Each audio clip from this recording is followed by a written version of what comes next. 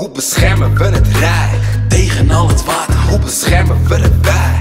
tegen zoveel water. Het is altijd weer een strijd. Daarom pakken we veel zand. Daarmee bouwen we een dijk. Ja, een hele sterke dijk. Wat zou je doen als de dijken doorbraken? Zwembandjes om en jezelf goed vermaken. Ik dacht het niet, want wat er dan aan de hand is Een ramp, Nederland ziet eruit als dat land is Alle wegen zijn rivieren en huizen in puin Ik zie jou al water trappelen met haar Nee maar echt, zonder dijk is de zee een gevaar Hoe beschermen we het rijk? Tegen al het water, Hoe beschermen we het bij?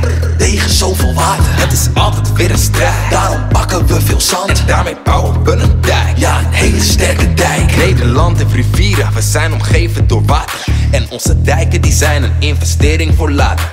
Als het zeeniveau stijgt door het broeikaseffect, dan zitten wij droog en veilig met daar niets een gebrek. Dus de is mijn mattie van. Als een muur in de rivier, als een muur bij het strand. Heel relaxed, geen stress, een beetje gras in zijn hand. Zo bewaakt hij ons land. Ik zeg dijken bedankt. Hoe beschermen we het rijk? Tegen al het water Hoe beschermen we het bij? Tegen zoveel water Het is altijd weer een strijd. Daarom pakken we veel zand En daarmee